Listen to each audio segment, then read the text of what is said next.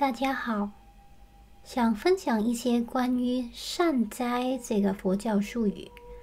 很多时候，我们都会在佛经中，或者在别人的交谈中，有时会听到人家说“善哉，善哉”，或者梵语是 “sadhu sadhu sadhu”。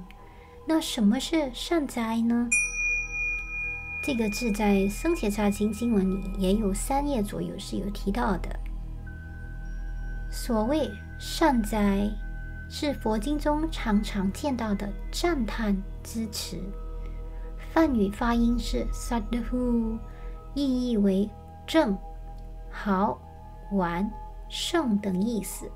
通俗的解释就是太好了，太好了。善哉应当是每个修行人的生活态度。如果在一切境缘中都能发现其中的价值，把所有经历都看成是最好的修行机会，那这个人就一定能心安自在、无烦无恼。善哉，善哉，善哉！南无僧伽吒。